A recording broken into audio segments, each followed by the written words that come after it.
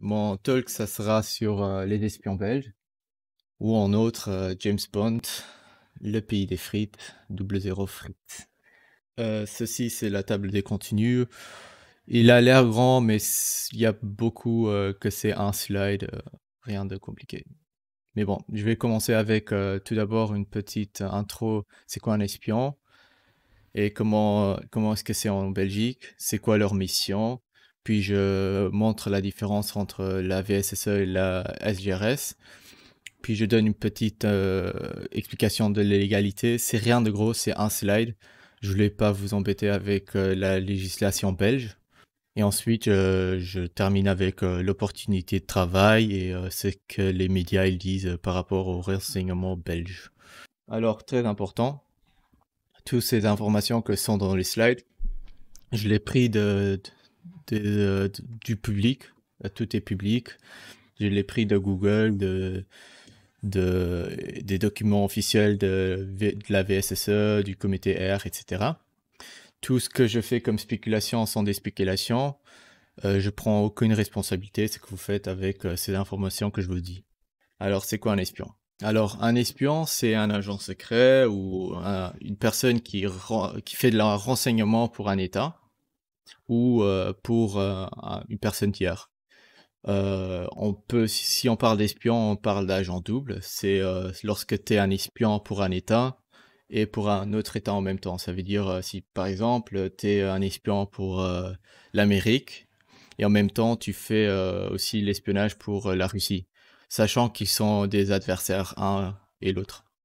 Le transfuge, aussi connu comme Edward Snowden, si, si, vous le connaissez, mais je vais en parler plus tard d'Edward Snowden. Mais c'est lorsque un, un, agent se fuit, se réfugie, euh, se réfugie dans un autre pays euh, pour, euh, pour donner. Et il, il, est réfugié à ce lieu que pour, le, pour donner des renseignements du passé à ce pays. Par exemple, Edward Snowden a donné des renseignements de la NSA à la Russie et c'est pour ça qu'il est réfugié dans la Russie. Et puis, tu as les officiers traitants, euh, ça, ce sont les membres euh, ou autres, euh, autrement dit, des fonctionnaires, des fonctionnaires de l'État qui, qui sont en même temps des agents, ça veut dire des espions. Alors, il faut, faut parler des dangers. Il y a le danger externe et le danger interne. Dans le danger externe, tout ce qui a à voir avec euh, économique, compétition, euh, environnemental et politique. Et dans l'interne, c'est le terrorisme, euh, l'espionnage, le mouvement antidémocratique et les mouvements extrêmes. Comment c'est en Belgique? Est-ce qu'il y a Comment est-ce qu'ils font leurs renseignements ben, En Belgique, il y a le VSSE, aussi appelé la sûreté de l'État, je n'ose pas le mot en flamand parce que je je connais pas le flamand. Je sais pas parler flamand, mais euh, il y a écrit sur le logo. Et euh, en gros, ils sont dépendants que du ministère de la Justice. Euh, ça veut dire le service public fédéral ou le SPF en, cours. Et c'est un service de renseignement qui est le deuxième le plus vieux euh, derrière celui du Vatican de, depuis 1032. Euh, ça veut dire, euh, ça date quand même un peu. Alors, le VSSS agit que sur le territoire belge, mais il peut collaborer avec d'autres agents, d'autres agences de renseignement, par exemple le MI5 ou le, le SREL. le MI5, c'est le service de renseignement des UK euh, du euh, Royaume-Uni. et le SREL, par exemple, c'est celui du Luxembourg. Euh, et ils agissent qu'ensemble le moment, par exemple, il y a une attaque terroriste ici de la Belgique qui pourrait impliquer le Royaume-Uni. Alors c'est là où ils interagissent ensemble. Selon moi, est-ce que Snowden a donné des renseignements de la NSA à la Russie? Lorsqu'il a mis... Ouais, ça, je peux en spéculer que oui, que la Russie était un des premiers à recevoir euh, le contenu de ce qu'il euh, allait mettre en public. voir aussi de ses expertises. N'oubliez pas que Snyder Snowden, il a une expertise euh, très profonde dans son travail qu'il avait fait. Et du coup, je suppose qu'il donne qu'il propose ce service à la Russie. La VSSE s'occupe de la protection des autres, euh, des autres personnalités, mais pas, par exemple, le roi, ici en Belgique. ça, c'est la police fédérale. Des autres personnalités, ça veut dire des ministres, de l'OTAN, par exemple, ou des ministres euh, d'autres pays lorsqu'ils euh, viennent euh, à la Commission d'Europe faire des nouvelles lois, etc. Ils sont intentionnellement très haut placés, presque au-dessus des lois. Alors, c'est pas vraiment presque au-dessus des lois, ils doivent quand même suivre les lois. Mais, par exemple, lors d'une enquête, ils peuvent rédiger, voire censurer un document euh, de façon que ça nuit pas l'enquête en courant. Ça veut dire, euh, par exemple, je vous donne un exemple plus tard avec euh, Dropmeyer, mais le moment, par exemple, où ils suivent un terroriste, et ils veulent pas rendre ça public parce que l'enquête elle est encore fraîche et ouverte. Du coup, ça pourrait nuire, ça pourrait montrer au terroriste qu'il y a une enquête qui qui est, qui est en train d'être faite sur lui. Du coup, ce qu'ils vont faire, c'est censurer euh, le nom du terroriste et d'autres informations nécessaires. Euh, d'après la loi, ils n'ont pas le droit d'arrêter un individu, mais euh, ils ont un très fort amitié avec la police fédérale et autres forces de l'ordre. Ça veut dire ils passent à travers les autres forces de l'ordre s'ils veulent t'arrêter. Donc, du coup, pas de bol.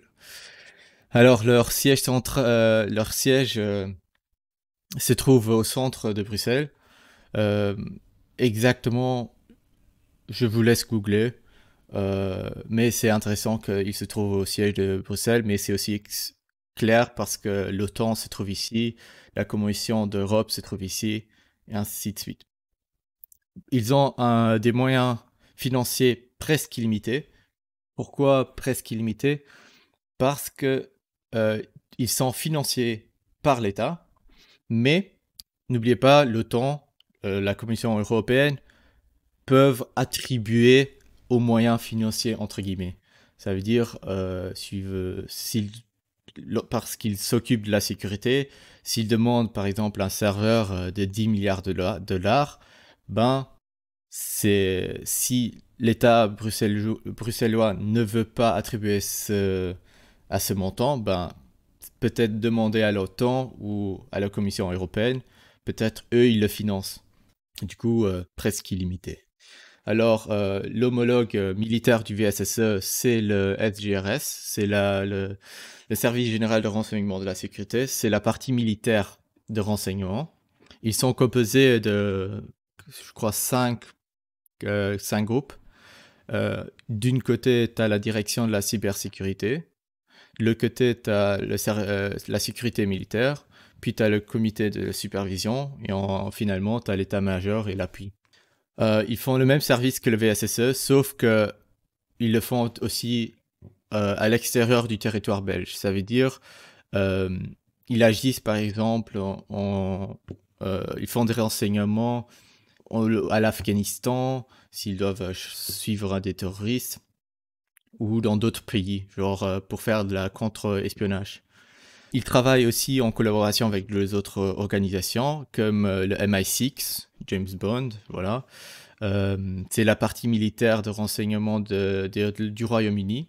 Et comme on peut voir, le MI6, le MI5, c'est la partie territoriale du Royaume-Uni et le MI6, c'est la partie militaire. Puis tu c'est le renseignement luxembourgeois, ou le CIA, NSA, autres similaires. Ils ont aussi les mêmes lois que la VSSE, mais ils ont d'autres lois parce que voilà, ils agissent dans d'autres territoires, du coup, ils ont des lois un peu plus spécifiques.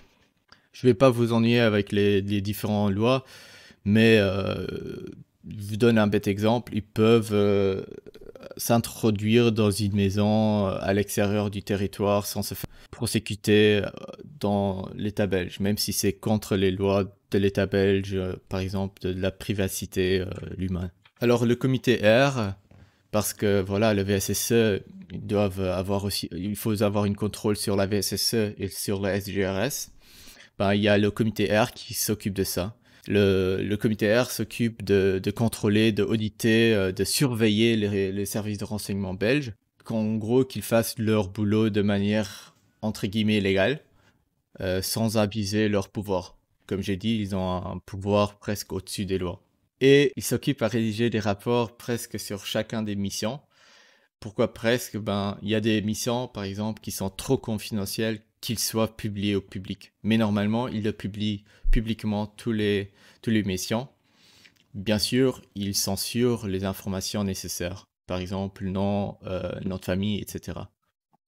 Alors, euh, les missions, ben, leur mission, c'est euh, ils doivent, euh, ils se focalisent surtout sur le terrorisme, mais euh, ils font aussi du contre-espionnage, euh, du CI, Counter-Intelligence, non seulement sur le territoire belge, mais aussi à l'extérieur, voire pour l'OTAN ou l'Union européenne, avec ou sans collaboration, comme j'ai dit.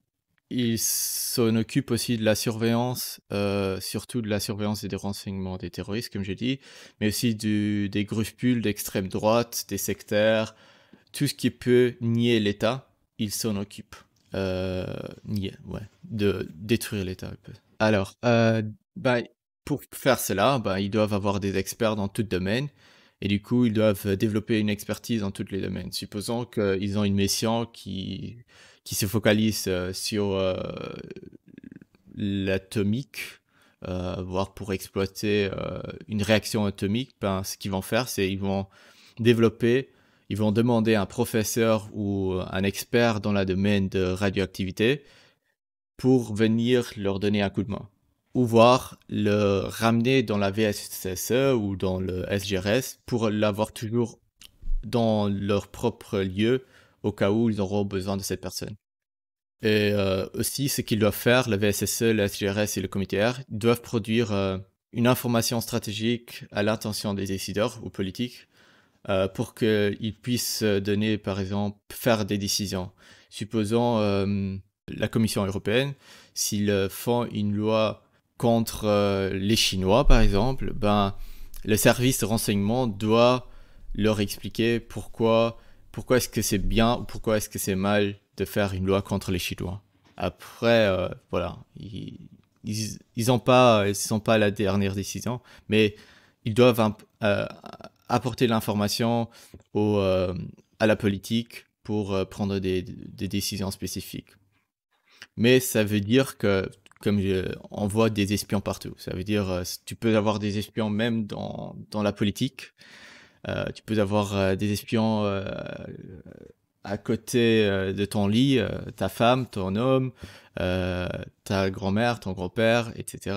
Ça veut dire tu peux pas faire confiance à tout le monde. Alors, quelles sont leurs méthodes à la fin? Ben, Ils ont trois des méthodes différentes. Les ordinaires, les exceptionnels et les spécifiques. Les, exceptionnels et les spécifiques ont une petite différence que, comme c'est dit dans le mot spécifique, c'est vraiment spécifique à une mission ou un service spécifique, par exemple la télécommunication, etc. Mais euh, je vous donne quelques exemples. Pour la VSSE, par exemple, les méthodes ordinaires, les cinq points, c'est l'identification de l'utilisateur à travers de la télécommunication. Ça veut dire euh, s'ils vont euh, à Proximus demander une demande pour un numéro spécifique, bah, Proximus va leur donner cette information nécessaire pour identifier la personne à la fin. Voir la même chose pour la carte prépayée. Et aussi, par exemple, si tu as un voyageur depuis l'Allemagne qui vient en Belgique, le service de renseignement allemand le soupçonne comme étant un terroriste ben, le moment où tu voyages, tu dois montrer ton passeport ou ta carte d'identité. Cette information-là, elle est stockée dans un, dossier, voire un database, une base de données euh, qui s'appelle PNR, dont il y a toutes les informations nécessaires d'une personne qui voyage. Et ici, on peut voir qu'ils ont euh, cherché des cibles 25, 27 euh, fois en 2019 pendant toute l'année dans cette DB. La même chose pour transmettre euh, des informations. Supposons que tu as un terroriste belge qui va à l'Allemagne, ben, ils peuvent communiquer cette information aux Allemands. Et comme il y a écrit ici, ils n'ont pas communiqué. Ça ne veut pas dire qu'ils n'ont pas fait. Hein. Ça veut dire que publiquement, ils n'ont pas montré qu'ils l'ont fait. Sache, dans les... depuis 2016, tous les rapports que j'ai lus, il y avait toujours écrit non communiqué ou un et deux de temps en temps. Je crois qu'ils se sont trompés là, mais ouais. Et aussi euh, les images enregistrées par les caméras de police, comme vous pouvez voir, ils ont accès à ça aussi. Et c'est une méthode ordinaire. Euh, supposons que tu as euh, un peu une personne de la police fédérale qui aide des cambrioleurs à cambrioler une maison, ben, si la police filme, le type de la police le filme, ben, théoriquement, ils ont accès dessus. Normalement, toute la police belge doit avoir la caméra allumée de leur voiture euh, le moment où ils font une enquête, etc., etc. Genre lorsqu'ils vont dans un lieu. Alors, les méthodes exceptionnelles, c'est là que ça prend un peu plus de, contexte. Mais euh, par exemple ici, la VSSE, euh, le moment où ils observent une maison et qu'ils essaient d'introduire dans cette maison pour inspecter les lieux, voire enlever des documents nécessaires ou voire installer des moyens techniques pour écouter installer un virus sur un ordinateur, etc., ben, ils doivent le déclarer officiellement par la loi, article 18.11, et on peut voir qu'ils l'ont fait 26 fois. Ça ne veut pas dire qu'ils l'ont fait pour un acte malicieux, ça veut dire peut-être qu'ils l'ont fait pour euh, suivre un terroriste ou un criminel. Il y a la différence entre observer et inspecter. Pour le deuxième point, la différence c'est qu'ils introduisent, même si par exemple euh, supposons que tu as un safe chez toi à la maison et qu'il le ouvre pour voir si ce que tu as dedans. Ça, c'est la, la, différence entre les deux, ce que moi j'ai compris. Du coup, pour recourir euh, chez ton voisin ou ta famille euh, des informations personnelles pour te suivre, faire de la reconnaissance chez tes voisins, chez le, lieu de travail, etc., ben, ils ont aussi accès, ils peuvent le faire d'après la loi. D'autres méthodes exceptionnelles de la VSSE, c'est prendre euh, le courrier. Ça veut dire euh, aller à la B-Poste. Euh, le moment où tu, tu reçois un courrier, par exemple, de la banque, bah, théoriquement, ils peuvent le confier, le lire, le fermer et te le filer comme si rien n'était. Même chose pour les comptes bancaires et la même chose pour s'introduire dans un système informatique. Ils ont le droit, mais il y a des démarches à suivre et c'est très strict par la loi le moment où ils peuvent le faire. Ensuite, ils peuvent aussi mettre en man in the middle, ça veut dire entre toi et la personne avec qui tu parles par téléphone, ils peuvent s'y rajouter dedans sans que tu le saches. Mais aussi ici, euh, c'est protégé par la loi et encore, il y a des démarches à suivre. Après, voilà, ça c'est ce qu'ils donnent publiquement, ce qu'ils nous montrent publiquement. Après, tu peux toujours euh, poser des questions s'ils le font pas sans que tu le saches. Et peut-être il y a des chiffres qui mentent parce que peut-être qu'ils euh, euh, qu'ils font des recherches par rapport à une personne que, dont l'enquête est encore trop frais pour qu'ils puissent publier publiquement. Ouais, pour les méthodes spécifiques, j'ai dû un peu zoomer, genre couper et genre shrink parce qu'il y a quand même beaucoup. Et comme j'ai dit, les méthodes spécifiques, c'est spécifiquement à, un domaine ou d'autres. Par exemple, euh, au donné d'un appel trafic, lorsque tu appelles euh, la police ou euh, le moyen pour, pour écouter tout ce qui a à voir communication, télécommunication, communication par Internet, etc. du coup, c'est plus spécifique à la domaine. Mais comme vous pouvez voir, c'est aussi la même chose, inspecter les lieux publics à l'aide d'un moyen technique euh, pour inspecter le contenu des objets verrouillés et où les emporter. Alors, euh, pour pas avoir le panique total, euh, ils ont aussi dit publiquement la nature de la menace, pourquoi ils ont fait tous, ces, tous ces jolis trucs, toutes ces méthodes-là, pourquoi ils ont fait. Ben, la, nature de la menace, comme on peut voir, c'est pour l'espionnage, euh, pour le terrorisme. Et on voit que le terrorisme, on le, le voit pas dans les médias, mais ils le font souvent. Euh, il, y a quand même un grand chiffre ici. N'oubliez pas, ça c'est dans les territoires belges. voir la même chose pour l'extrémisme, la euh, profilation, euh, l'ingérence, et, ensuite il y a des, des, activités pour lorsqu'ils font une collaboration avec le MI5, ben, ils vont pas le, montrer publiquement, mais on peut le calculer à travers ces chiffres-là. J'ai pas fait le calcul, mais euh, ça, je crois que c'est pas beaucoup. Alors, les SGRS. Comme vous pouvez voir, c'est la même chose pour les SGRS, pour les méthodes ordinaires. Euh, sauf, n'oubliez pas, eux, ils le font aussi à l'extérieur du territoire belge. Ça veut dire en Allemagne, etc. Même chose pour les méthodes spécifiques et même chose pour les méthodes exceptionnelles.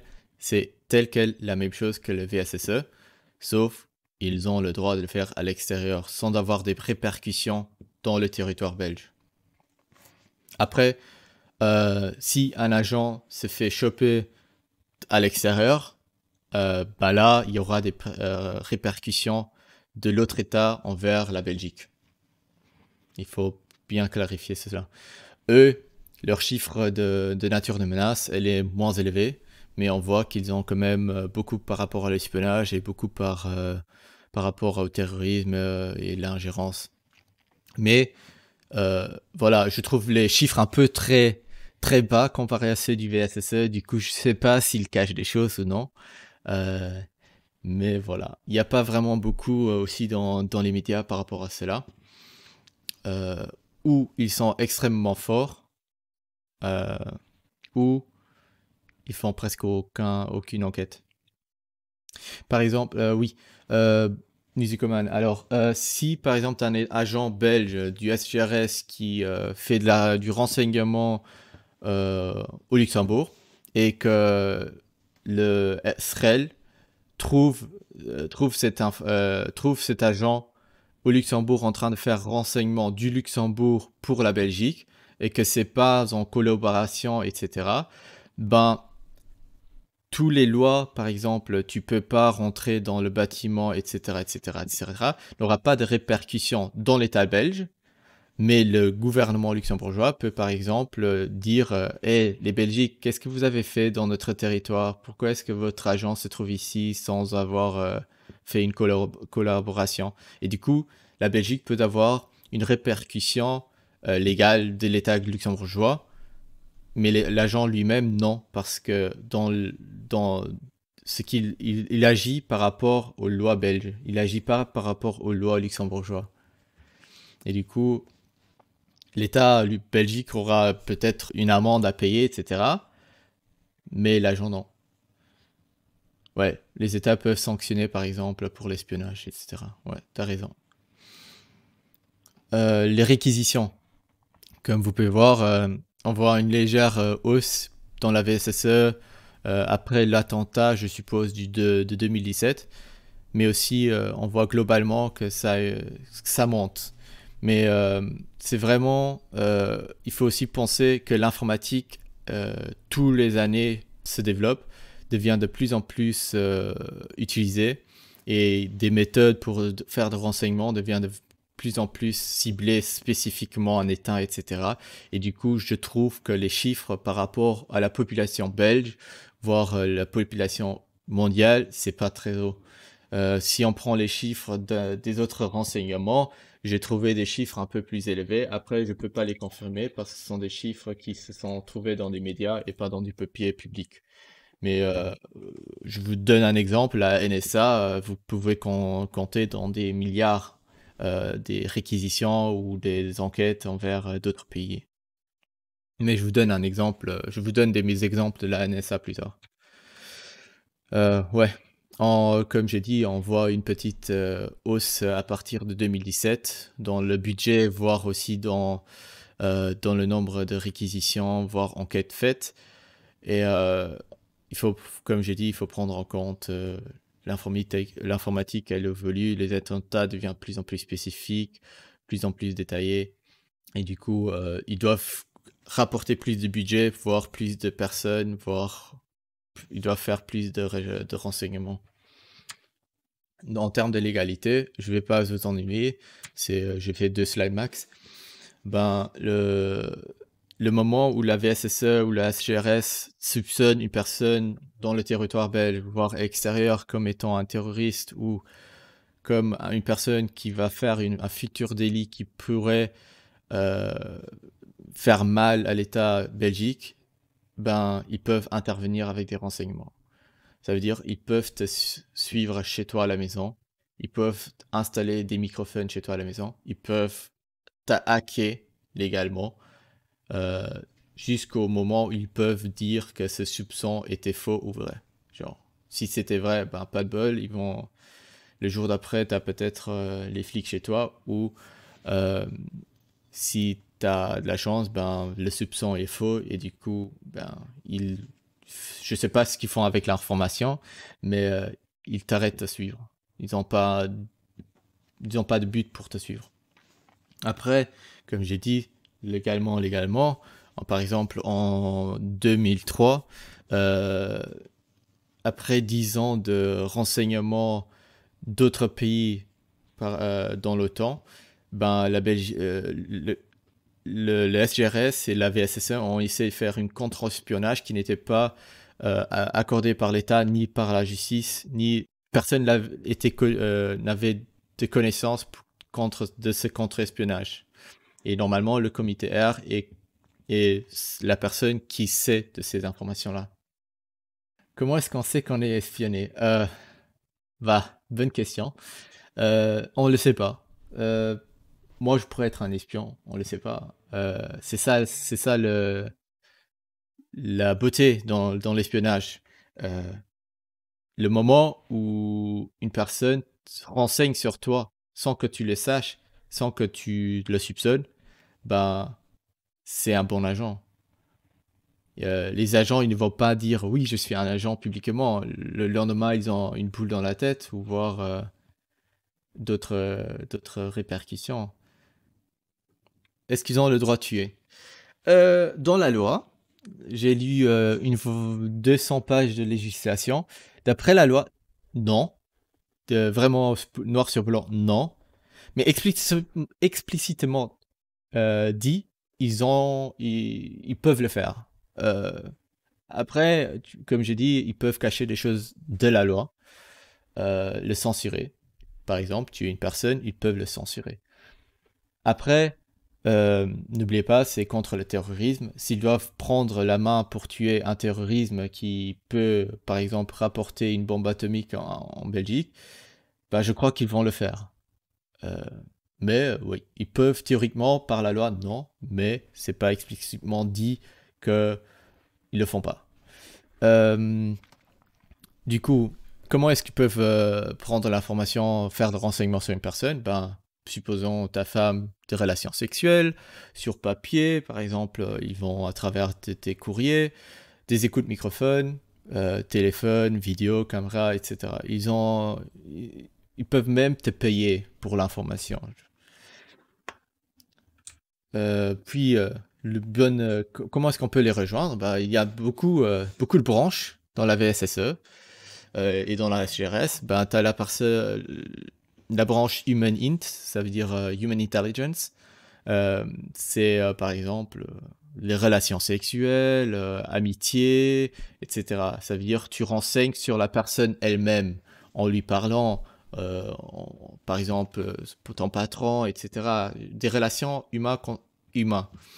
Puis tu as le submint, c'est euh, faire de la reconnaissance à travers des réseaux sociaux, voire rejoindre des réseaux sociaux extrémistes, à s'infiltrer pour, pour avoir euh, la main dessus, voire, peut-être être dans l'organisation lorsqu'ils font, euh, je sais pas, une manifestation non déclarée euh, à l'État, ils peuvent euh, le voir à l'avance.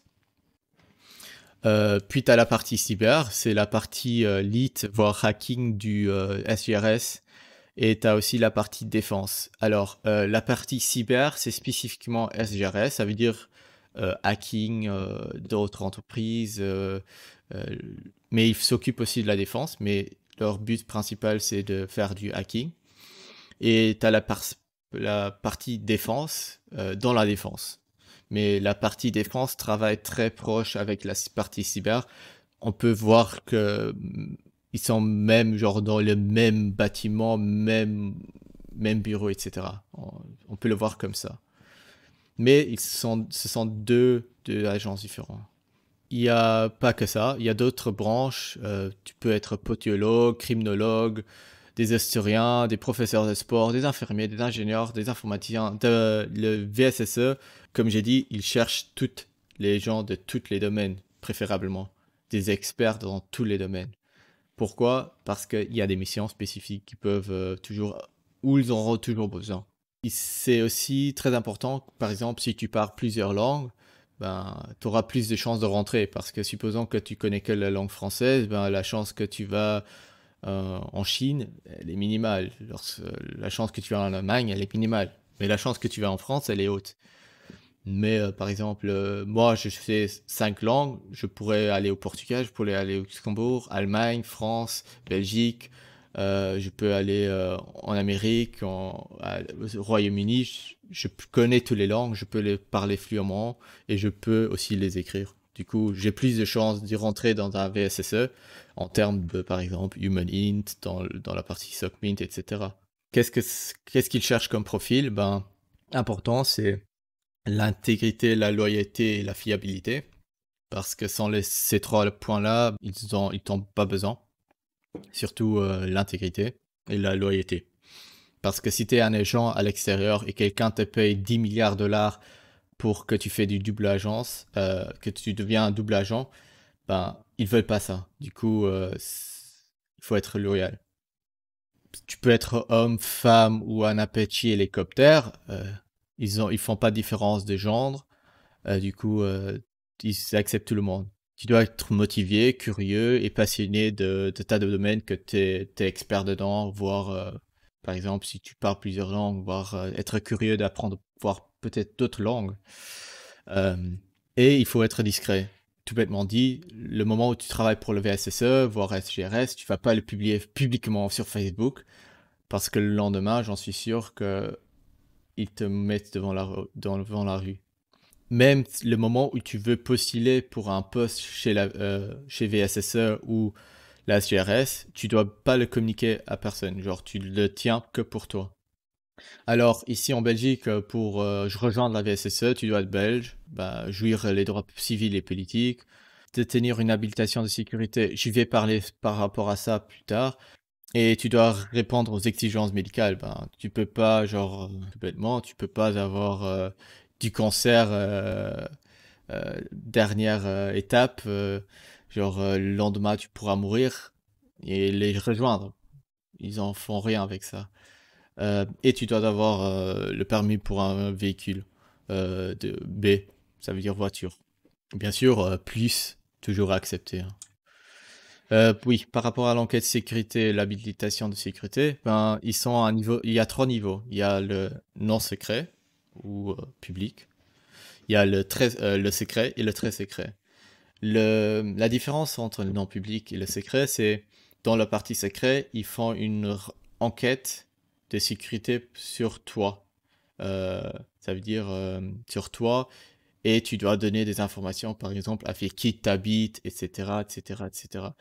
Pourquoi? Ben, supposons, pour, en gros, supposons que tu es un russe et que tu veux devenir, euh, que tu as, que as coché tous les points ici, que tu as une expertise en, en, radioactivité, par exemple, et que tu veux les rejoindre, ben, ils vont regarder d'où est-ce que tu viens, avec qui tu as parlé, euh, c'est quoi tes, t'es né où, t'as fait quoi, etc. Ils regardent toute ta vie en détail pour exactement euh, pour contrecarrer que tu auras un double agent dans l'agence.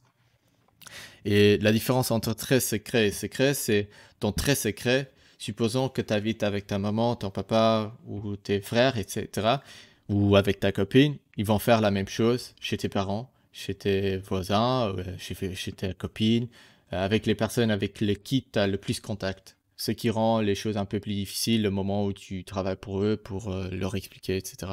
Mais tu, le moment où ils font une habilitation de sécurité sur toi, pour, dans le cas de, de très secret, tu peux dire à tes parents, etc., copines, euh, femmes, euh, hommes, tu peux leur dire il y a une enquête de sécurité qui est, en train, qui est en cours sur nous.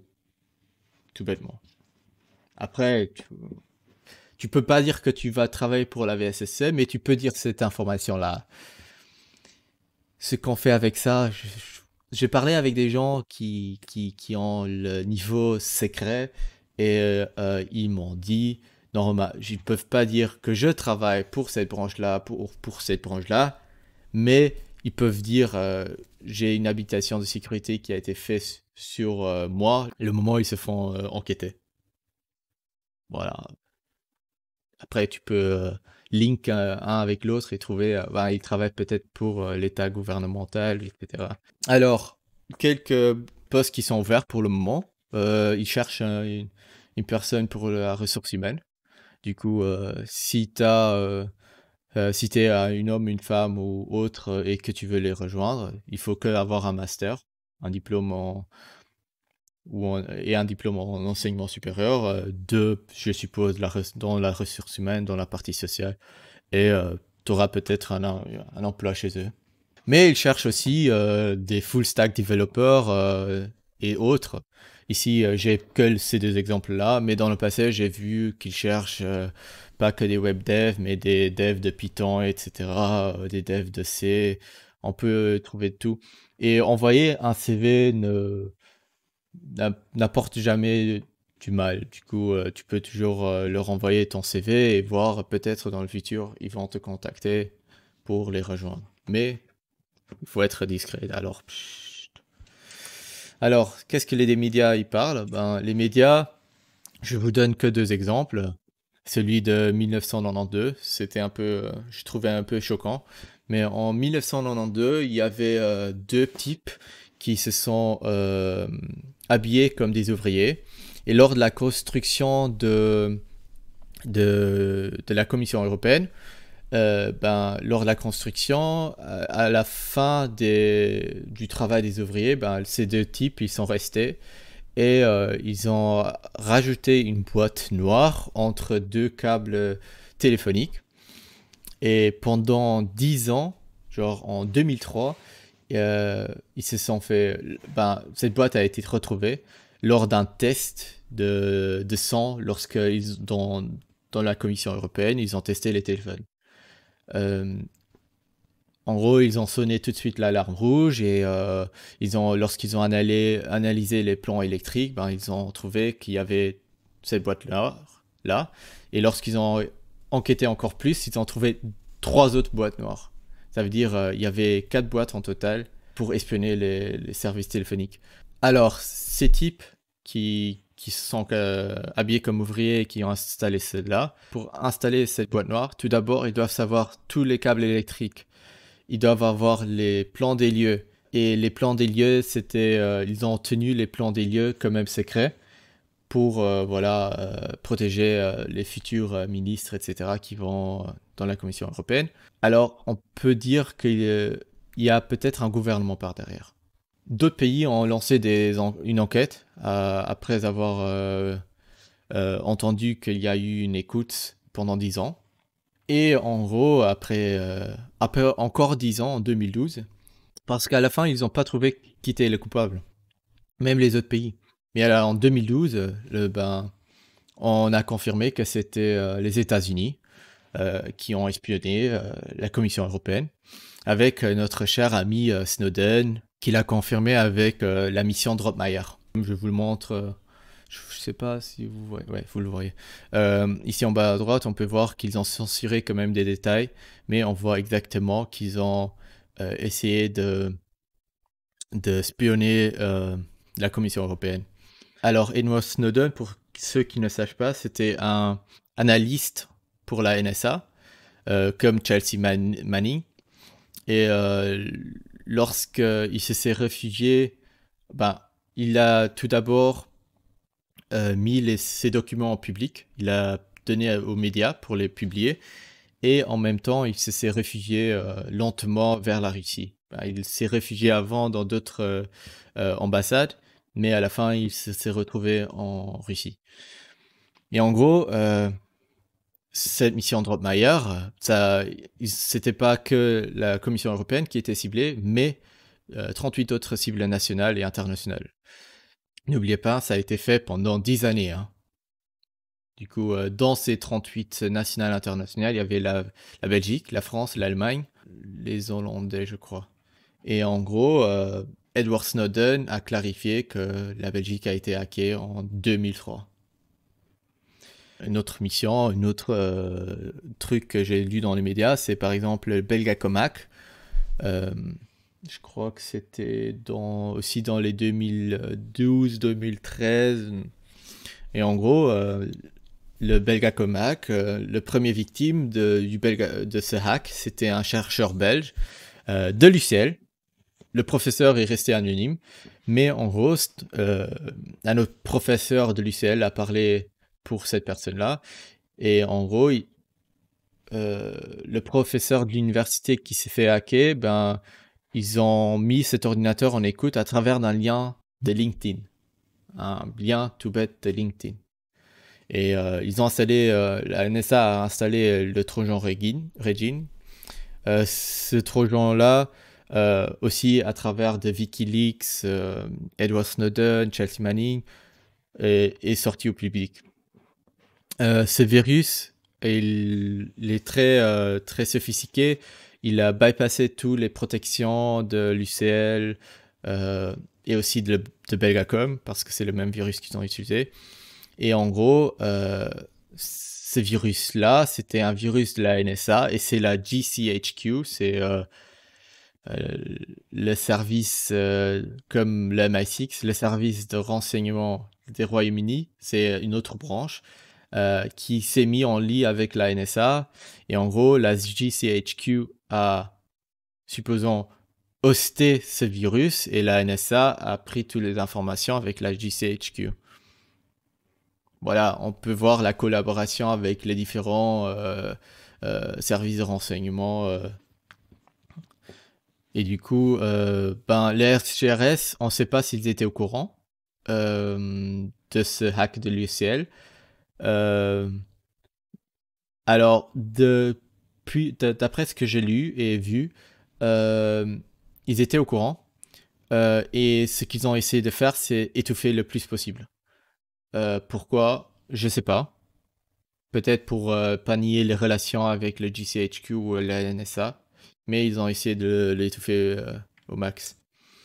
Alors, j'ai aussi trouvé une présentation qui a été publiée sur Wikileaks du, de, ce, de cette relation de GCHQ qui a installé ce virus dans le, dans le service de Belgacom pour à la fin obtenir l'accès total de Belgacom.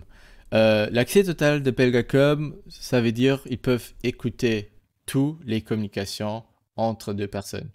Ça veut dire entre deux politiciens, par exemple de l'OTAN euh, vers un autre pays, entre euh, la Chine, l'Amérique, etc. Ils peuvent écouter à tout. Toute, communication télé, télécommunication, toute communication par Internet, etc. Ils avaient la main totale dessus.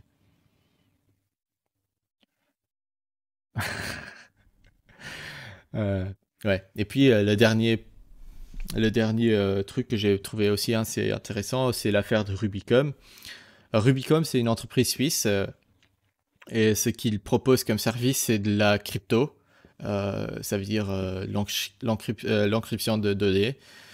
Et en gros, les SGRS, lorsqu'ils ont étudié cette entreprise, je ne sais pas comment ils, ils ont su de cette entreprise, mais le moment où ils ont euh, se, sont renseignés de cette entreprise euh, suisse, ben, ils se sont aperçus que depuis 1970, la CIA avait la, main sur une façon comment le déchiffrer cette euh, encryption.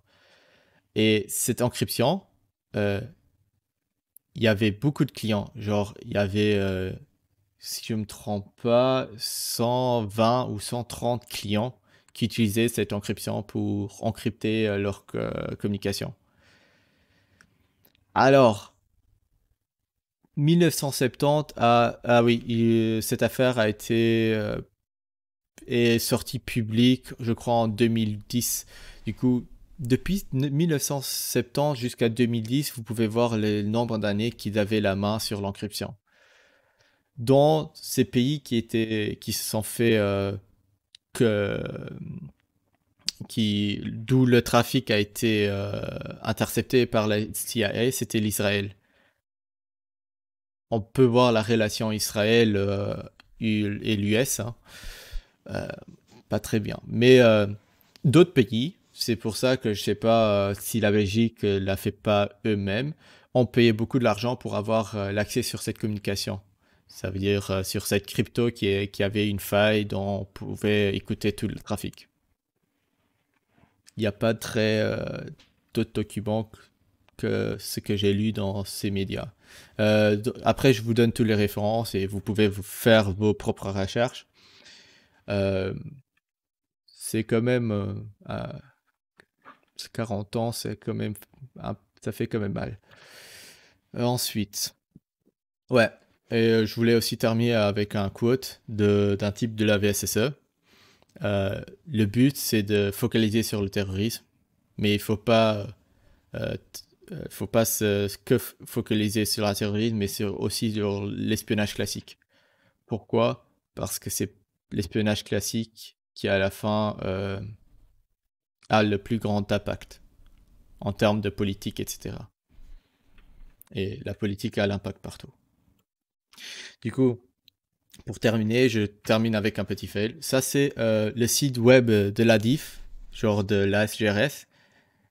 Et comme vous pouvez voir, ils utilisent WordPress. Alors pour les gens qui ne savent pas ce qu'est WordPress, c'est une façon comment on peut euh, hoster un site facilement, genre euh, l'HTML, la partie HTML facilement. Et on voit que leur site elle est bien rempli tout d'abord.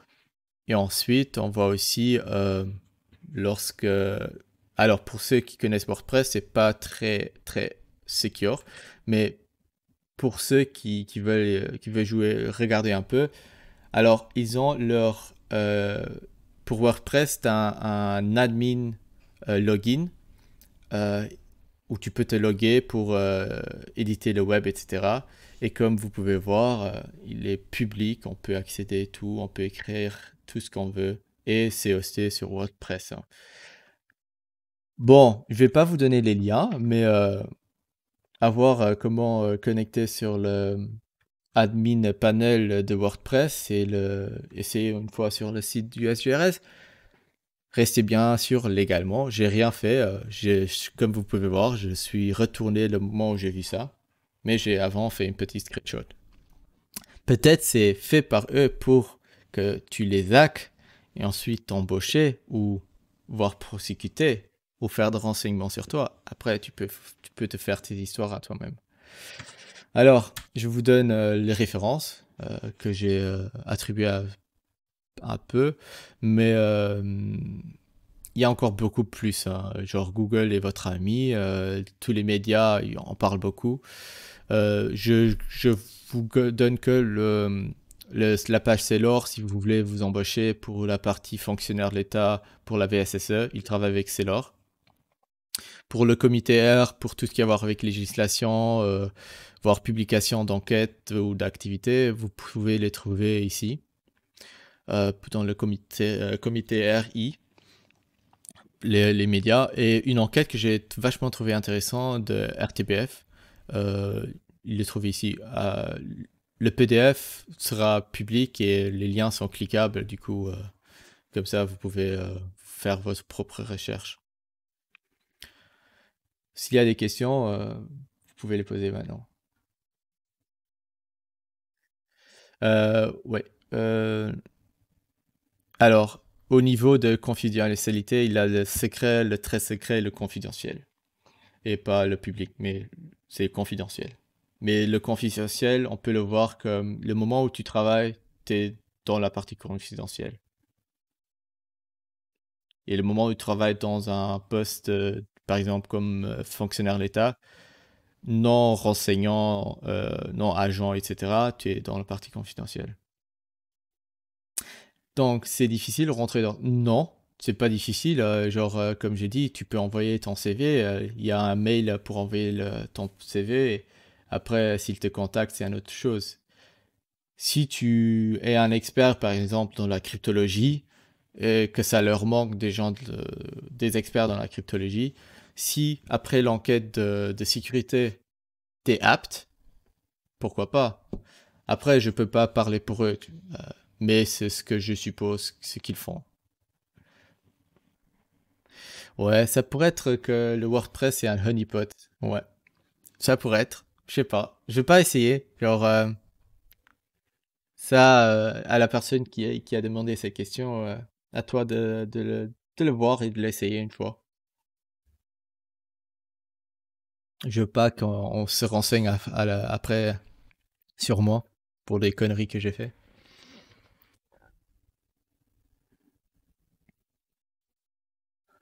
Mais sinon, pour moi.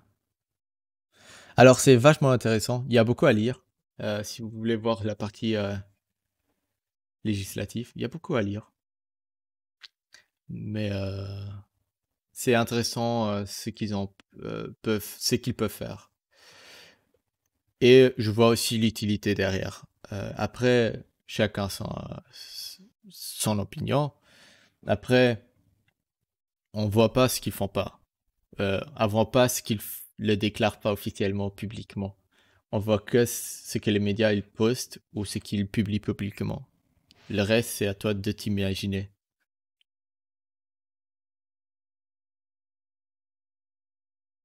Mais sinon, je vois pas de questions sur IRC ni Discord. Bah alors, euh, je termine euh, le SM avec un grand merci à vous pour avoir écouté et euh, je vous souhaite une bonne fin de soirée. Et s'il y a des questions, vous pouvez les poser sur le Discord du CI. Euh, je suis euh, plus actif là ou, su- ou sur IRC, mais là je suis un peu plus, un peu moins actif dans les, de- les derniers temps. Mais euh, sinon par mail, mais pour le mail, je, vous demande de m'envoyer un petit ping sur IRC ou Discord et je file le, le mail. Bien sûr, j'ai aussi du PGP, etc. pour encrypter les mails et du coup, on peut le communiquer en très secret. Bah, je vous laisse. Bisous, bisous. Bonne soirée à vous. Et euh, je vous, je, je vous, souhaite une agréable soirée. Et n'oubliez pas de souscrire euh, sur le YouTube du Hurlab. Donnez un petit pouce sur les vidéos. Tout est bien. Bye.